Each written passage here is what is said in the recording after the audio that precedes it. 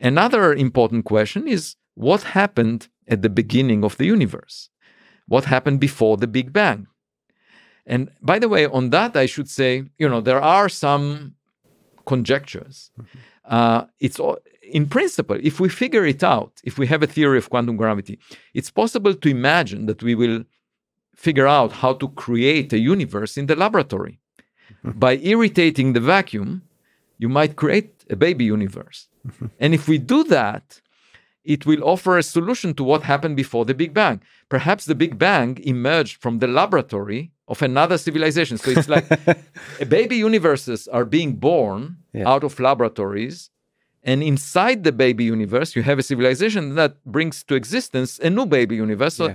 just like humans, right? We yes. have babies and they make babies. Yeah. So, in principle, that would solve the problem of why there was a Big Bang and also what happened before the Big Bang. Yes. So, we came, our umbilical cord is connected to a laboratory of a civilization that produced our universe once it figured out mm-hmm. quantum gravity you know it's it's uh, uh it's, it's baby big bangs all the way down it's, it's yes. just big it's big bangs all the way down so if we collect data about how the universe started we could potentially test theories of or le- it can educate us about how to unify quantum mechanics and gravity if we if we get any information about what happens near the singularity of a black hole you know if we yes. if we get a, a sense of you know somehow we, we learn what happens at the sing that would educate so there are places where we can search for evidence but uh, it's very challenging i should say and my point is you know the string theorists they decided that they know how to approach the problem but mm-hmm. they don't have a single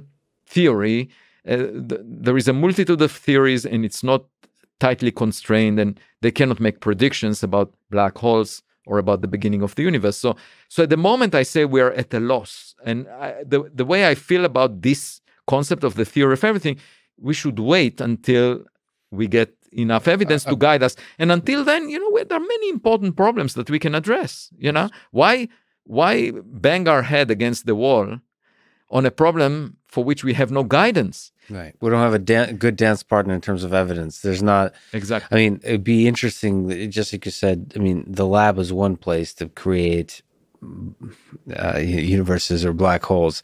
But it'd be fascinating if there's indeed a black hole in our solar system that you can interact with. So the problem with the origin of the universe is all you can do is collect data about it, right? right. You can't interact with it. Well, you can, for example, detect gravitational waves that uh, emerged from that, and you know there is an effort to do that, and that could potentially tell us something. But um, yeah, uh, it's a challenge, and that's why we're stuck so I should say, despite what physicists portray, that uh, you know we live through an ex- exceptional growth in our understanding of the universe, we're actually pretty much stuck, I would say, because we don't know the nature of the dark matter. Most of the matter in the universe, we don't know what it is, uh, and we don't know how the universe started. We don't know what happens in this in the interior of a black hole.